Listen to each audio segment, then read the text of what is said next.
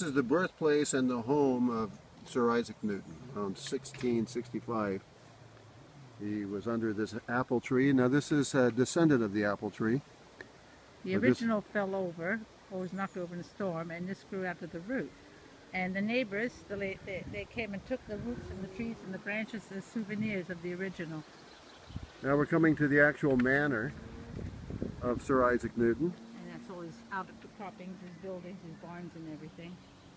Very simple inside the house, very or- ordinary with just wooden furniture and basic things, nothing ornate inside. Still an orchard in front of the house, as you can see here. This is Woolsbury. Is that the name of the place, Bergie? Um, no, it's a hole. It is called Woolsthorpe Manor. Woolsthorpe Manor. Say that ten times fast and you're good. We're going to come up just so you can see the actual sign that shows that this was his home.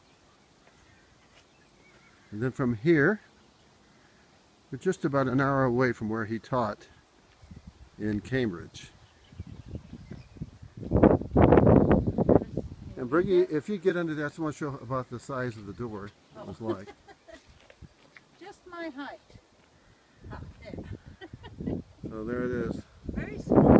Wee people live there. They're Irish. They're the wee people.